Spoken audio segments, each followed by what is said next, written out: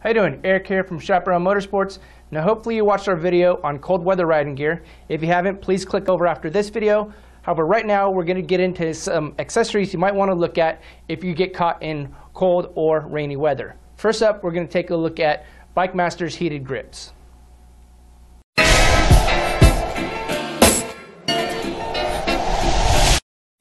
Bike Master's heated grips have specially selected rubber materials to resist the outdoor environment and provide a secure and comfortable grip. Even at high temperatures, these grips remain resistant to damage.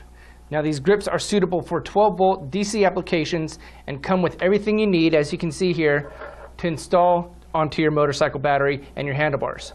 Now as you can see, it comes with extra long electrical leads so they can fit most stock style handlebar applications and are easy to install. According to Bikemaster, these grips deliver heat faster than traditional heated grips. These grips are extremely easy to operate via the five button uh, temperature controller. You simply just push the button, it has a little indicator up here to let you know what heat level you're on.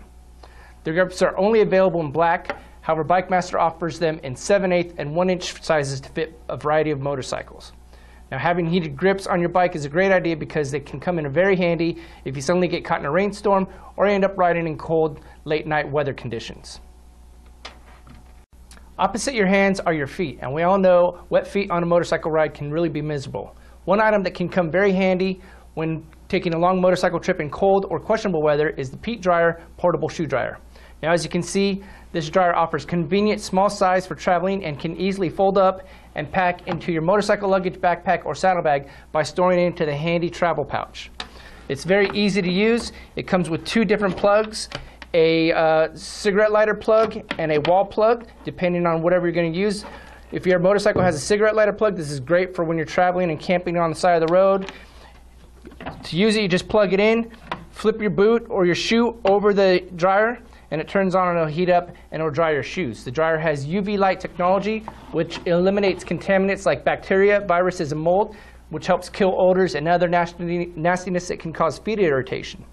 And when you get caught riding in the rain, using a boot dryer like this will help extend the life of your footwear and gear, allowing them to dry quickly and provide you with comfort when you get ready to ride again. Now for convenience, the PEET portable dryer comes with a small wall plug and cigarette lighter like I showed you. The dryer has temperature limiting heating elements that will allow it to not overheat for safety and rest assured that your boots or gear won't get ruined. Now the dryer comes with a two-year manufacturer's warranty and is a very smart item to pack along for any motorcycle getaway that you're going to be going on. Okay, so that was just a few items to consider for your cold weather arsenal. For more information on these items, visit ChapMoto.com. And remember, there's three ways to shop. Call, click, or visit. As always, thank you for watching and enjoy your ride.